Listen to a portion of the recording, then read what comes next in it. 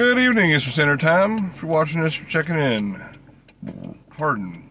I'd like to talk about the two knives I carry in my EDC, which is everyday carry.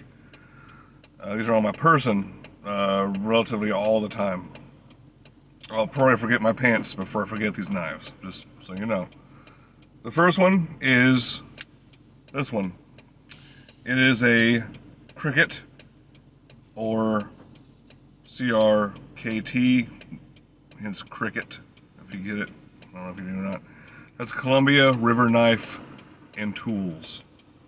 Uh, they make some pretty cool stuff. Everything from tomahawks to knives to whatever. But um, I have had this knife, and it shows for approximately 17 years, possibly more. I got it at the Knob Creek Gun Show when this model had first come out and I got it for about 40 bucks, which was a good deal at the time. Now you can find this exact model uh, at Walmart for about 20 bucks, and I highly recommend it. It's probably the best knife you'll ever own. Uh, I do everything with it from skinning animals, uh, cutting, which is a knife, so you cut stuff, rope, boxes open, you know, umbilical cords, whatever. Um, but I also use it to clean out my fingernails, uh, dig out my ingrown toenail, uh, cut cheesecake, cut sandwiches. And if you've ever eaten a cheesecake that I've cut with this knife, I'm not going to apologize because you should know me. I do clean it, obviously, um, and sterilize it with like alcohol and whatnot but um, it's got a high carbon steel blade. This is the M16-OSO1S model. I think it's a different model number now, but like I said, you'll recognize it at Walmart. It's pretty easy. Aluminum handle. Uh, it's got this little nub here to open it easier. It doesn't have. It's also got side things, if you can see that nub there on both sides. So it's ambidextrous if you want to open it with that. I'm not too antiquated with that. I use this thing. And it, it'll flick and it works great. Uh, got a belt clip on it. And it's got the thumb release to release the, which is also the lock. If you watch it snap, see a little snap there. Anyway, you push that to the side and it closes. So easy opening, easy closing, easy breezy. I've also done the things with this knife that you should not do with a lock blade, um, such as throwing it, um, batoning. Uh, yeah, those things you should not do with a lock blade. This is not safe, and it's not really good for the knife. But needless to say, I've abused the hell out of this thing and it has yet to disappoint me. I've done one tune-up on it because of little screws and whatnot. After you know, 15, 16 years, they finally started to get loose enough where this would wiggle about. So I took these screws out, put Loctite on them, put them back. Uh, also, the blade was really kind of loose in there, so I, you know, adjusted it with that screw and also took it pretty much apart and cleaned it up. And now it works just as good as the day I bought it. So you take care of a knife, it'll take care of you. The other knife that I carry, I always carry two knives of backup, is that one. It's another Cricket knife. Uh, this is the Pazoda. I don't know what that means. Uh, you can let me know if you do. Same operation, except it doesn't have anything the back. It's got this big thumb thing here, so it's also ambidextrous. Open, opens quickly as well, shuts as quickly as well. Stay sharp. Got a belt loop. Uh, I think it's a steel handle, carbon steel blade. Very good knife. Uh, Columbia River Knife and Tools makes an outstanding blade. They also make tomahawks and all kinds of cool stuff. So I think tomahawks are kind of a little too heavy. They borderline, you know, heavy hatchet weight. So I wouldn't carry one, but they're very nice looking.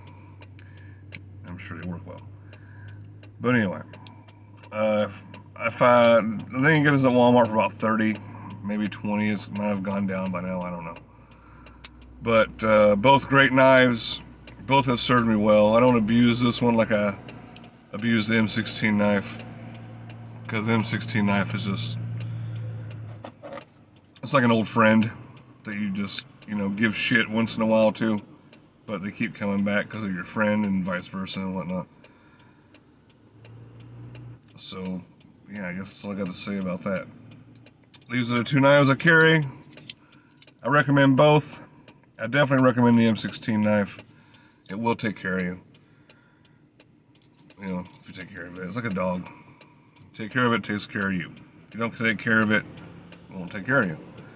Now, to keep both these knives sharp, and I probably sharpen the M16 knife either once a week or once every two weeks, depending on the amount of use I put through it, and I do put a lot of use to it. Whether that be bushcraft, whittling, opening boxes, showing off and cutting paper, whatever.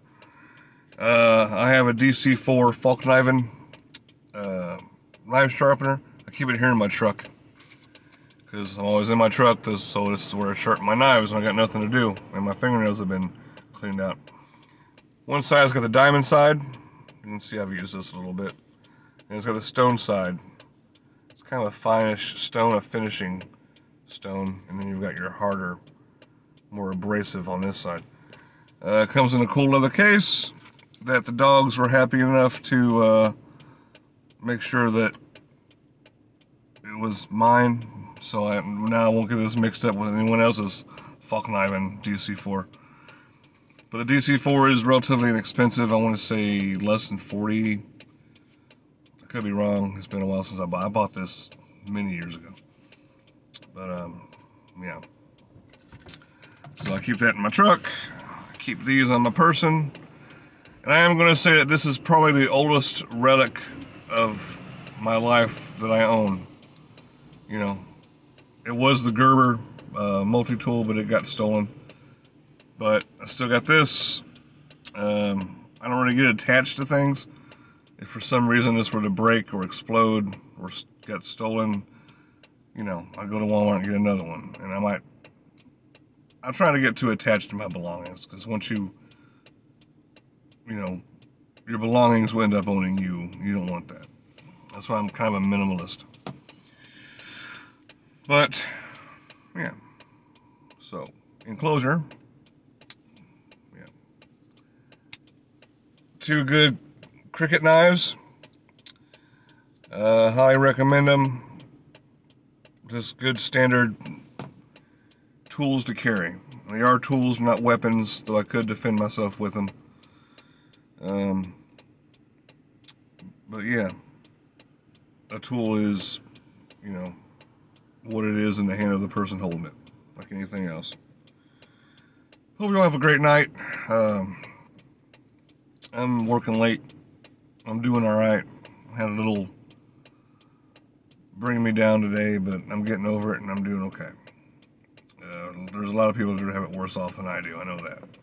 So trying to keep a stiff upper lip. Have a great night. Thanks for watching, subscribing, and if you're watching this, you're checking in.